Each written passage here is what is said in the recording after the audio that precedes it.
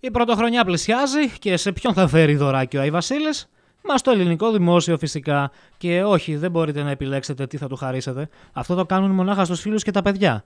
Το κράτος αντίθετα δέχεται μόνο λεφτά και μάλιστα αποφασίζει εκείνο πόσο μεγάλο θα είναι το δωράκι. Ξεκινάμε με τα καθιερωμένα. Τέλος χρόνου, οπότε το πρώτο πράγμα είναι τα τέλη κυκλοφορίας. Νομίζω ότι όλοι το έχουν ψηλά στις προτεραιότητές τους. Πρέπει να εξοπληθούν μέχρι την Παρασκευή 30 του μήνα.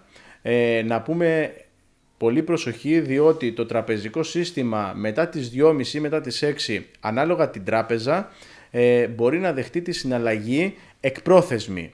Συνεπώς προσέχουμε μέχρι το μεσημέρι της 30ης Δεκεμβρίου να έχουμε εξοφλήσει τις υποχρεώσεις μας από τέλη κυκλοφορίας οχημάτων διότι σε αντίθετη περίπτωση εφόσον δεν θα δοθεί παράταση το ποσό θα διπλασιαστεί.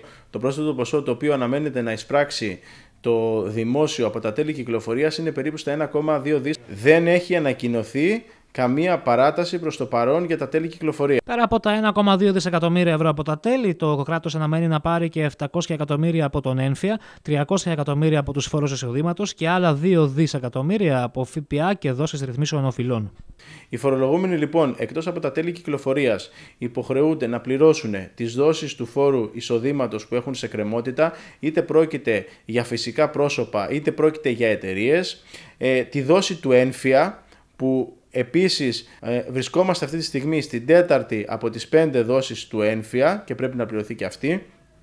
Θα πρέπει να πληρώσουν τις ε, ρυθμίσεις που έχουν σε ε, εκκρεμότητα, τη δόση δηλαδή της ρύθμισης που έχουν σε εκκρεμότητα. Θα πρέπει να πληρωθεί ο ΦΠΑ για όσους επιτιδευματίες ε, έχουν υποχρέωση να πληρώσουν στο τέλος του μήνα ΦΠΑ. Και αν δεν σας αρέσει, δεν σας ρώτησε και κανείς.